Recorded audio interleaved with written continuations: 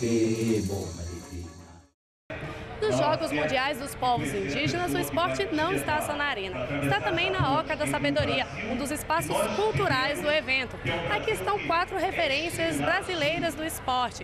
O Giba, que é campeão olímpico de vôlei, o Cafu, que já foi campeão mundial três vezes, o atleta de corrida Robson Caetano, que acumula duas medalhas de bronze olímpico, e o piloto revelação da Stock Car, Felipe Fraga. Eles contaram um pouco das experiências profissionais, as habilidades necessárias para se tornar um esportista e também responderam a perguntas de indígenas de todas as idades.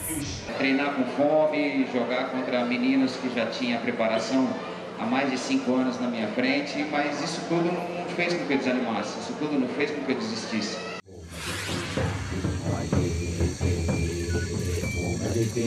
Bom,